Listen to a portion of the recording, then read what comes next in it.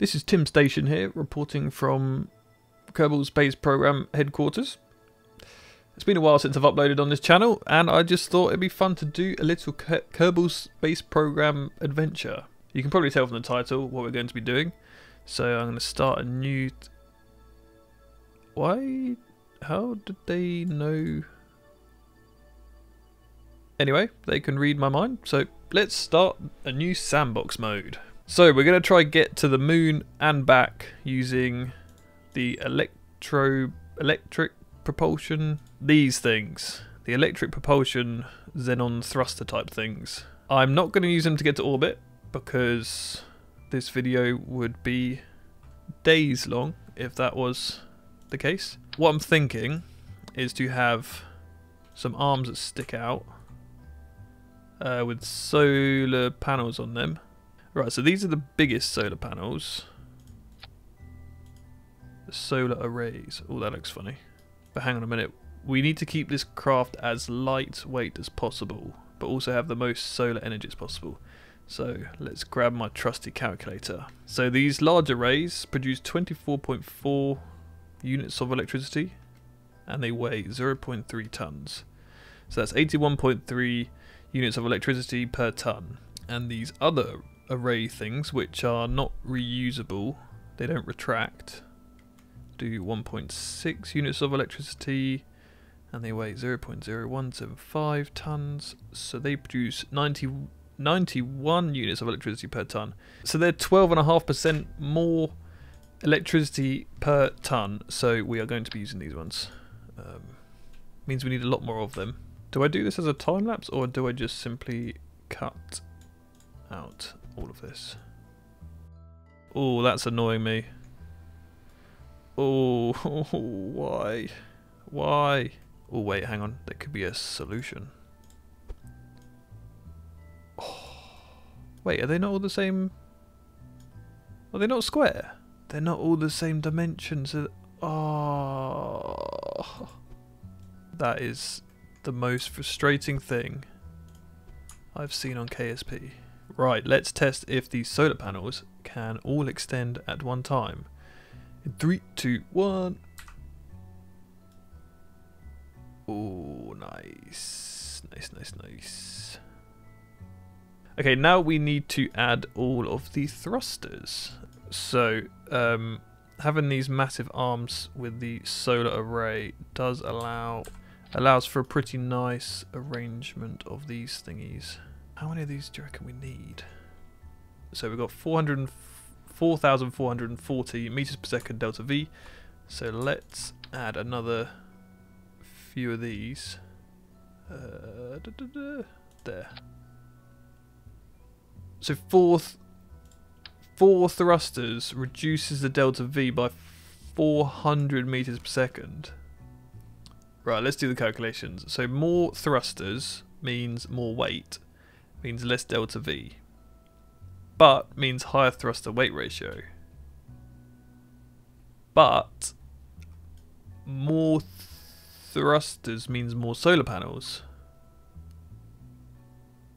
So what we want, yeah, okay, so what we want to have is we want to have the least amount of thrusters possible to to still have a thruster weight ratio of 1 on the moon, right?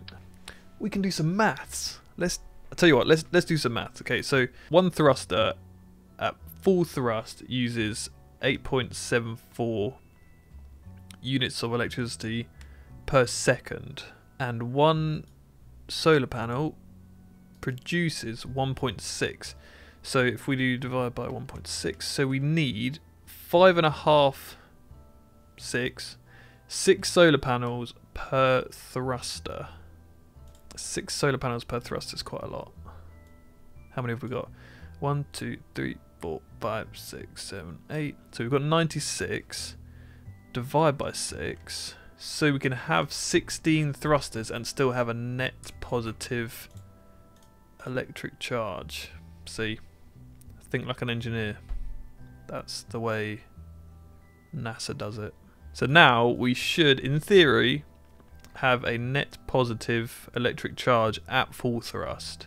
Right, so I think we're ready for the journey to the moon.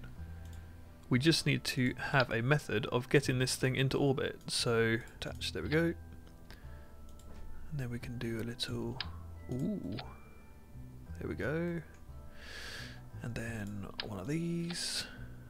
So this booster won't get it quite to orbit, but it will get it close, and then we should be able to, if we get if we can get it high enough, um, we can deploy the solar panels and hopefully get it to orbit. That means we're not leaving any debris in orbit, hopefully. Right, here we go. First launch of the solar Munship, or Moonship, if you're not a Kerbal. Full throttle in three, two, one. So what thrust to weight are we getting? Thrust to weight ratio of 1.9-ish. Uh, let's throttle that back a tiny bit. I don't know when to start the gravity turn because we need to uh, we need to get it quite high out of the atmosphere before separation because uh, I need some time to extend the solar panels and then fire up the thrusters. Gravity turns are uh, probably one of the most efficient ways of uh, flying a rocket, but it's pretty hands-off on Kerbal Space Program, so it's not the most exciting to fly. Okay, 60. Okay, wait, don't catch fire, solar panels. We need you to calm down. 80 kilometers separation. And then now, can we just open these solar panels? Yeah! That's cool. Right. Three, two, one. Orbit burn. So yeah, my calculations are correct. Oh yes, we are now in orbit. We have a periaps above 70 kilometers. I'm just going to keep it going just to get it a bit more circular. Oh, I've seen another problem. I've seen another problem. The solar panels cannot align with the sun. oh no. Um, we could just orbit around enough times so that the craft is pointing either towards or away from the sun when it needs to use a thrust. Because we can't make... Hang on, this has created a whole another problem. We need to make sure that we end up on the sunny side of the moon. I've just realised this whole plan is um, uh, not great. I think we just need to fast forward. Fast forward a bunch until the moon is like at a different position.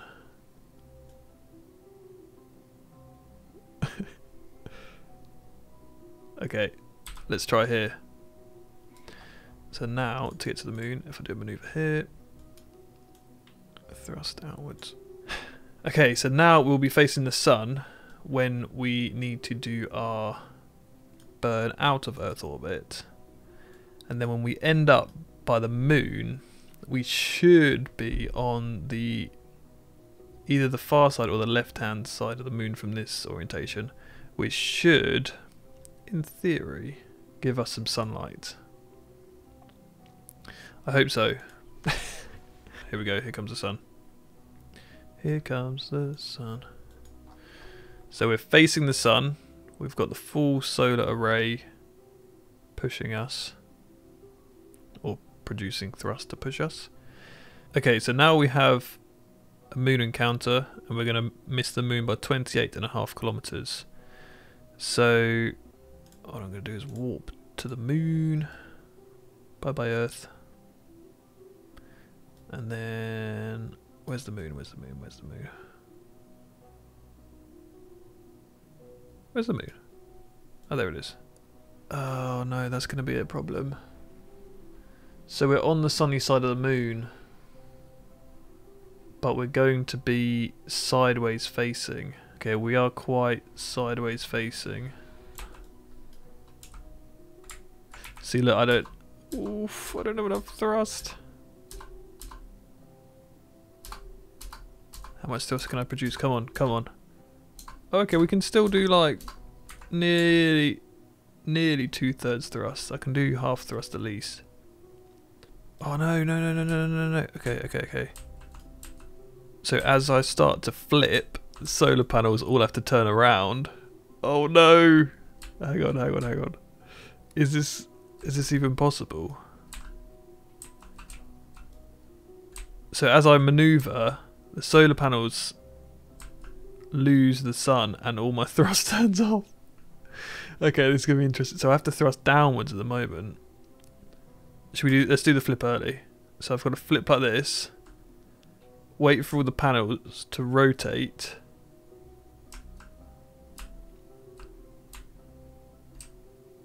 Actually, that wasn't too bad. Right. Place your bets. What are the odds of this thing actually landing? oh, oh no! As soon as I tilt to bleed off that horizontal velocity, I lose my electricity flow. Oh no! I can't go lower than like a 30 degree angle. So I just need to control this. Try not to start gaining altitude. So I can't quite get away with full throttle. But I can get pretty close. Oh no, I'm climbing. Hang on. Oh no, no, no, no, no. I don't want to be climbing. Or do I? I don't think I want to be climbing, but I sort of have to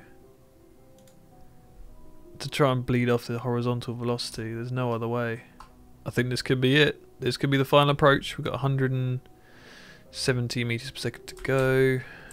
I probably want to reduce my vertical velocity now just to be safe. Okay, vertical speed is constant, or zero, should I say. We are at almost five kilometers high. This is it, this is it. We're coming in for the landing now. Oh, we're to miss this little ledge. Don't land on the hill, don't land on the hill.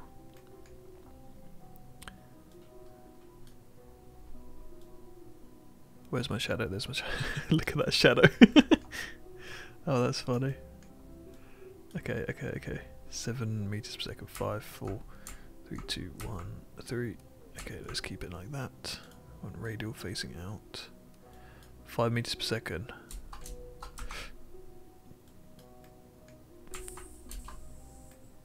Come on, come on. No, no, no, don't go back up, don't go back up. Oh, I'm wasting fuel, I'm wasting fuel.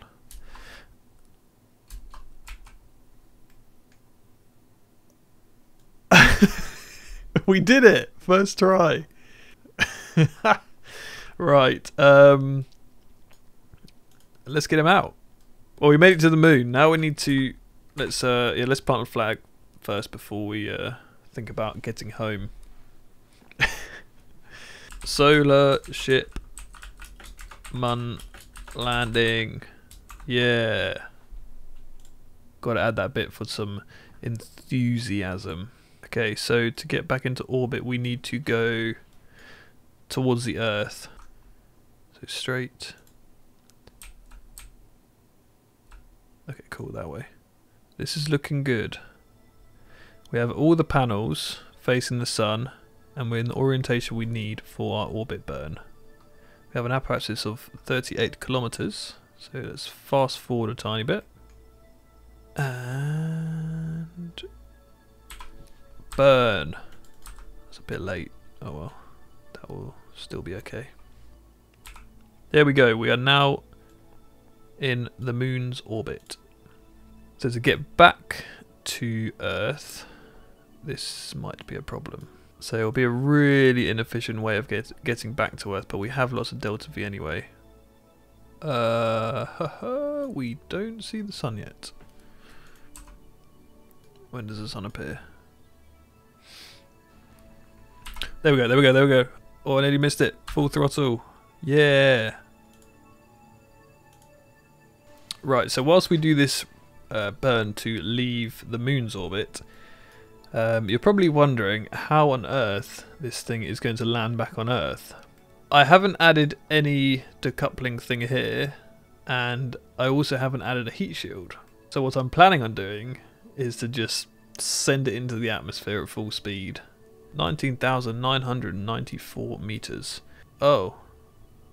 So if I'm if we somehow manage to break the laws of physics through the atmosphere, we will hit the moon.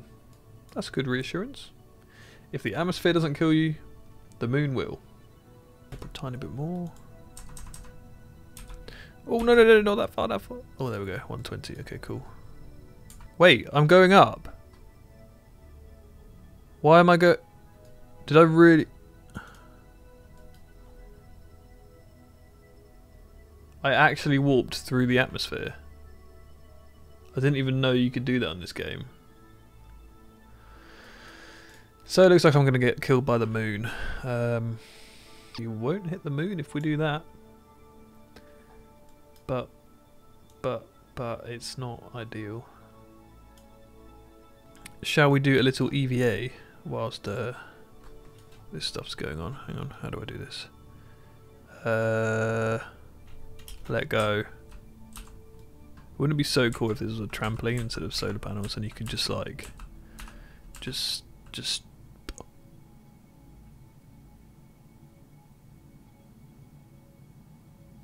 Uh.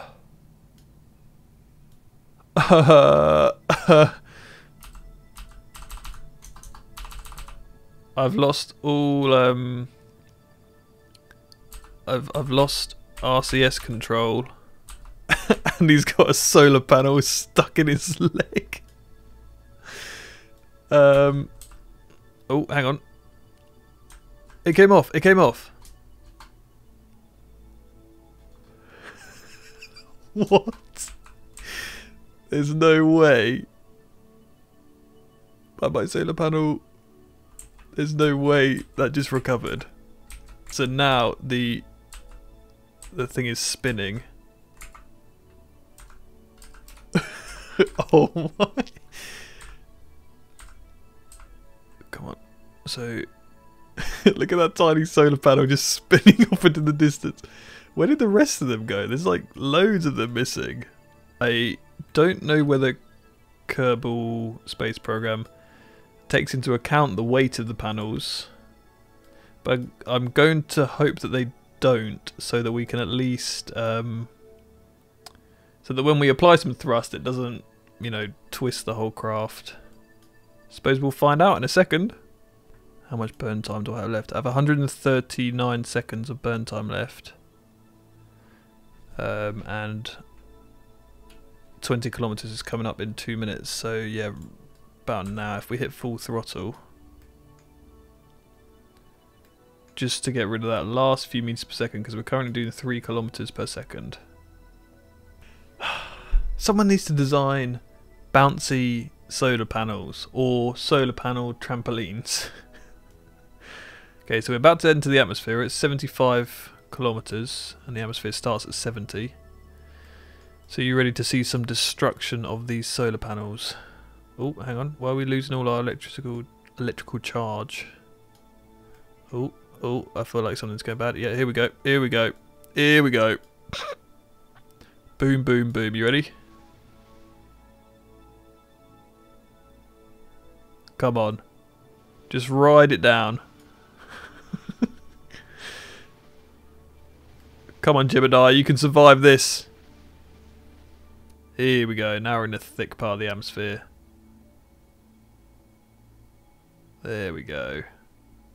Okay, parachute deploy. Here we go, here we go. What speed are we going to be doing? Is it too heavy? Is it too heavy? Oh, not bad, not bad. 16, 17 meters per second. And Touchdown. Ooh. That was really loud. no, we're going to lose our... It's sinking. No. Come back. Jack, come back. Well, there we have it. A solar-powered electronic ion propulsion rocket to the moon and back. I suppose we could do this again if anyone enjoyed it. See you next time.